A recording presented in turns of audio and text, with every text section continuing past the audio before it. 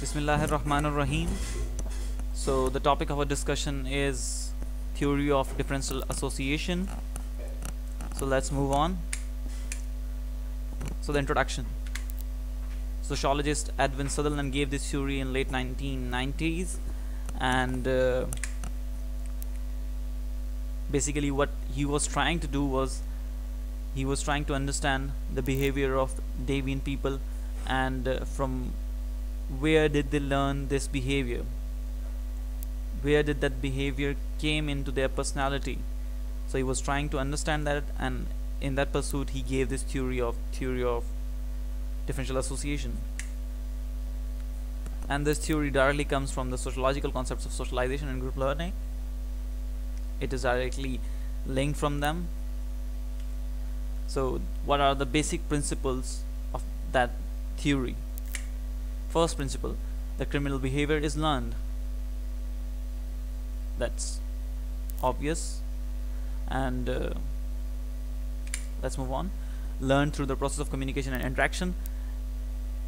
Now that proposes something that the behavior that any person is uh, any criminal is showing is what he has learned from someone from the process of socialization from his environment.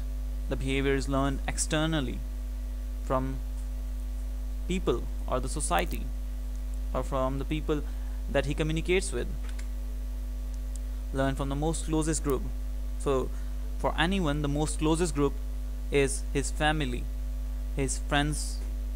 These are the most closest people to anyone. And what this theory postulates is that they learn this behavior for them from them Another point is differential associations may vary in frequency, duration, priority, and intensity.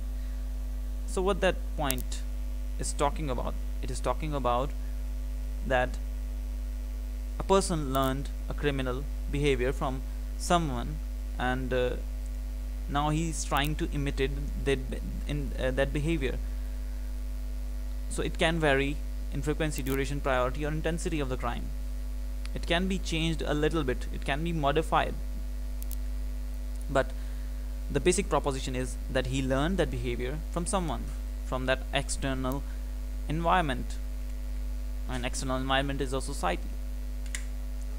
Learning is similar in all non-criminal and criminal behaviors. I think that's a fairly simple point. I don't have to explain it. So there were a few criticisms on that theory and now we are going to discuss those criticisms. What were the what were the criticisms in it? Does not ex explain the origin of criminality. That's a, that's quite a fair point of criticism that from where does that criminal criminality originated? Someone learned from someone that criminal behavior but who was the first person who did the crime? And from where did he learn that criminal behavior that criticism directly hits that point. Let's move on to another criticism. Does not differentiate between the crimes of passion and accident. Now there is uh, another aspect of crime. It is intention.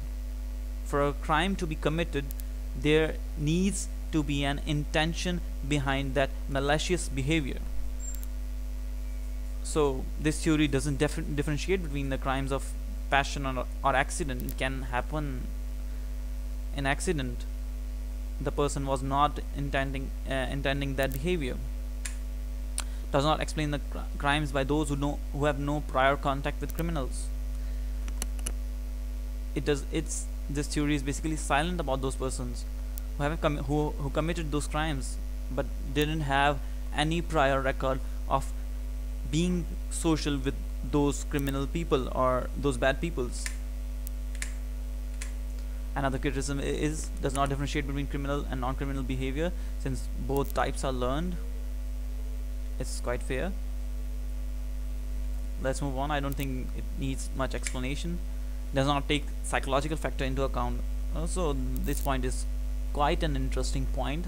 Psychological factor psychological factor can be the motivation or the thoughts going behind everything thoughts going behind the criminal behavior.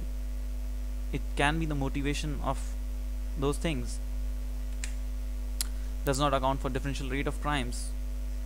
So this theory is basically silent about those things that criminal behavior differentiates in different environments. It differentiates in the rural areas in urban areas between gender between different races and uh, it's different.